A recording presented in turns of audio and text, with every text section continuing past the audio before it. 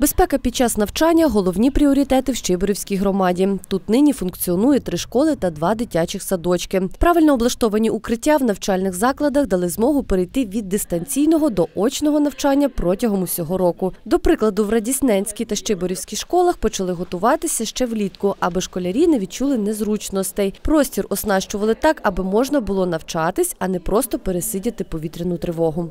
Умовою повноцінного функціонування укриття це було два виходи. Чи один вхід, один вихід. Ось тут, куди ми зайшли, оцей вихід. Це було вікно. Ось таке вікно.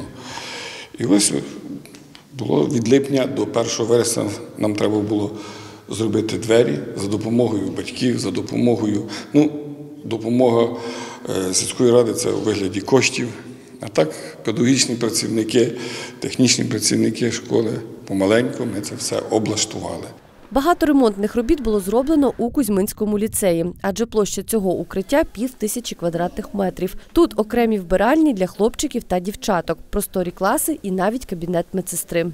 Приміщення забезпечене двома потужними Wi-Fi роутерами, які дають змогу бути в курсі подій, в курсі справ і продовжувати власне навчання в укритті. Е, Забезпечений ліцей медичним працівником. Окремо є оснащена медична кімната з відповідним набором медичних препаратів для надання першої допомоги.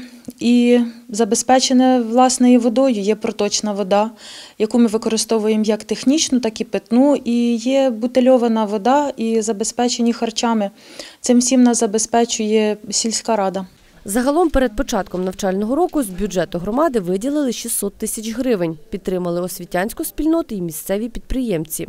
Ми задоволені в- тим, що нам дається забезпечити безпеку усіх учасників освітнього процесу, Е, тому що забезпечення безпеки е, е, освітнього процесу є. е, Передумовою того, що е, усі відчувають себе е, в такій гармонії.